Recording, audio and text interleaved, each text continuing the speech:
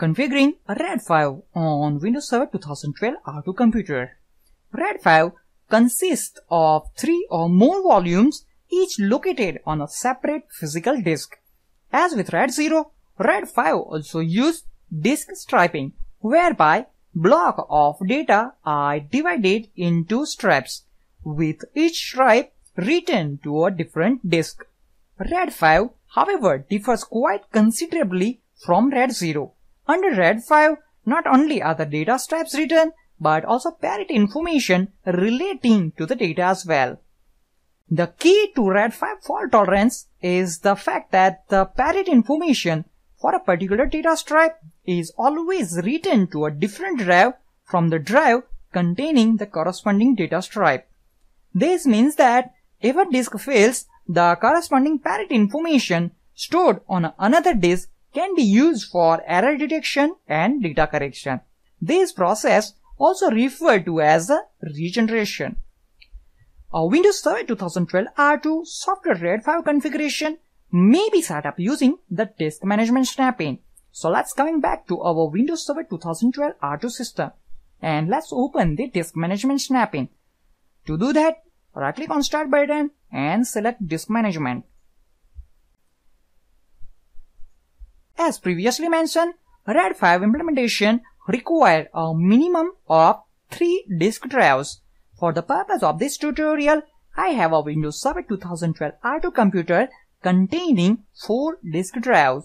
In this scenario, disk 0 is the system disk and disk 1, disk 2, disk 3 are available for use in the RAID 5 configuration.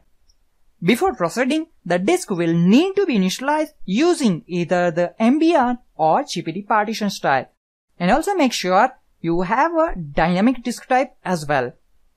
So as you can see, our disk 1, disk 2 and disk 3 has a dynamic disk type.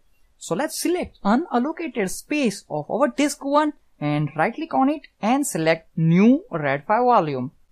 Click on next on welcome to the new RAID 5 volume wizard. On the screen, we can see a list of disk drives available for inclusion in the disk array together with a list of selected disks. Currently, only the current disk is included in the selected list. Two more disks must be added to the selected disk before the RAID 5 array can be built. So let's select our disk 2 and let's click on add. Let's again select disk 3 and then click on add. Now this is the total volume size in a megabyte and that is this. Here we can specify the maximum available space for particular disk is this and here we can specify the custom size to our new RAID 5 volume. On the screen let's click on next. So remember we didn't include our disk 0 in our RAID 5 array.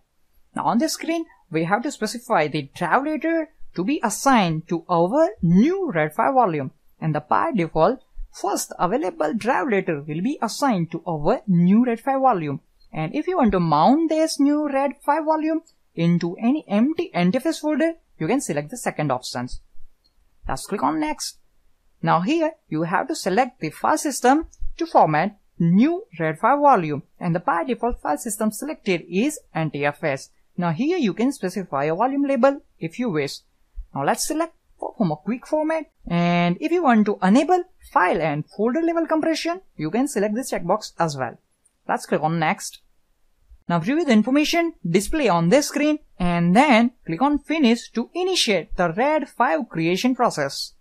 During this process, the disk management graphical view will list the disk as formatting and then you will see resyncing.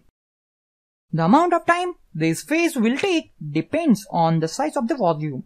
Once the process is complete, the status will change to healthy and RAID 5 volume is ready for use.